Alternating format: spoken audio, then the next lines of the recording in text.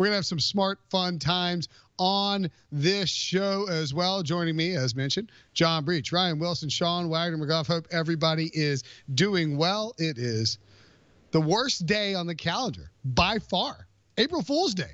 It's a trash day. I don't know if it's considered a holiday, but it's a trash day. Nobody likes these little gags, except the one I pulled on my son, where I sent him. Um, you can create like a fake link, and I said that the uh, governor of North Carolina had banned iPads and YouTube for the rest of the month.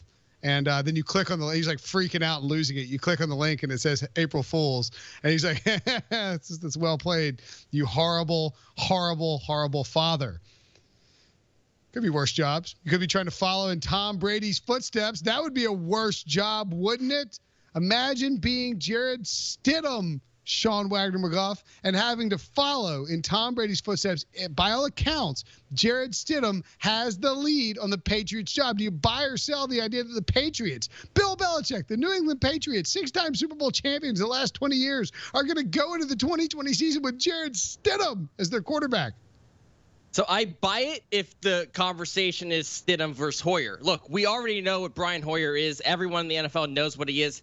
He is a career backup quarterback for a reason. He's not very good. So if it's just those two on the roster, and right now, after Cody Kessler got released earlier today, it is just those two, then absolutely I buy it's going to be Stidham.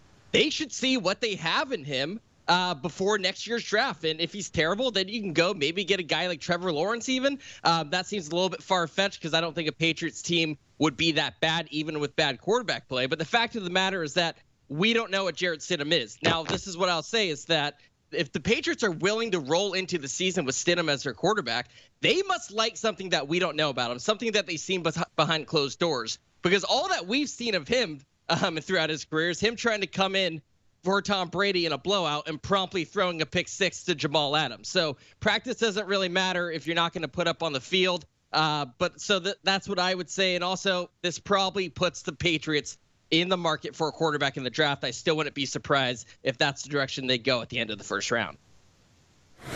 Like Sean, I'm going to buy with the caveat that uh, if the game's being played today, yeah, they're going with Jarrett Stidham. One thing to point out that Sean mentioned that Jarrett Stidham threw that pick six to Jamal Adams. Sean forgot to mention they jerked him right back out of the game, put Tom Brady back in there in the fourth quarter to give you some indication of how much confidence they had in him in a blowout. I don't know what that did for Jarrett Stidham's confidence.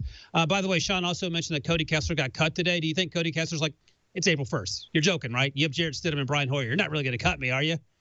Bill Belichick, I don't do April 1st. Get out. That's my robot Belichick 3000. but look, uh, maybe they do like Stidham to Sean's point. I liked Stidham last year uh, at Auburn when he was coming out. I thought he, he was in a situation that wasn't very conducive to being successful. The offensive line wasn't very good, and his wide receivers at Auburn dropped a lot of passes. I think he has a chance to be good. I don't know if it's going to happen in 2020, but I also think, as Sean mentioned, they're going to be in the market for a quarterback, whether it's in the draft or whether uh, John Breech's guy Andy Dalton gets cut and ends up in Foxborough at some point. Well, first, let me go back to Brinson's April Fool's joke real quick. Brinson, you have been banned from sending fake links to anyone, let alone your son. Wilson knows this. Sean knows this. So you can't send fake links no more. That's done. I don't want to hear about it. Uh, and I'm never going to tell people what you sent. Anyway, back to the conversation at hand. There is no way the Patriots are going to go into the season with Jarrett Stidham at quarterback and a guy who went 1 and 11 in his past 12 starts. That doesn't make any sense. Now, the flip side of that is that we don't know. The big mystery here is that we don't know how Bill Belichick feels about Jarrett Stidham. For all we know, Josh McDaniels and Belichick think that Stidham's going to be the next Tom Brady. And if that's the case, then it kind of makes sense to why they've avoided trading for Andy Dalton or signing Cam Newton or signing Jameis Winston. Uh, but look, we all saw Jarrett Stidham, as Sean mentioned. He got not a lot of action last year. He came in, he threw four passes against the Jets. One of them was a pick six. There's no way this guy is the next Tom Brady. So I do think the Patriots are absolutely going to add a third quarterback. I think they're going to wait, see what happens in the draft. If someone falls in their lap, whether that's Jordan Love or Justin Herbert, maybe, uh, if they end up with one of those guys, they'll be happy. If not, then they'll wait till May and they'll sign uh, Cam Newton or Jameis Winston or try and trade for Andy Dalton. So I think they'll go draft first. And if that doesn't work out, then uh, sign a guy in free agency. It's a bold call that Jarrett Stidham will not be the next quarterback to win six Super Bowls and become the greatest uh, football player of all time, Breech. I like that you're going out on a limb. Are you getting more tan by the day? By the way, what is happening? You you like look tanner and tanner with each passing day of this show, and I'm confused by it because I get paler and paler with each passing day of the show. Uh, I like I'm I'm buying Stidham. I think, and I'm not because I think he's some great prospect, but he was considered a guy who could potentially be a first or second round pick before the 2019 college football, or excuse me, before the 2018 college football season. Struggled, of course. Uh, Auburn wasn't as good. As, well, they were they were pretty good, but they didn't have you know he didn't have that great year. Really fell down the ranks along with my boy Ryan Finley.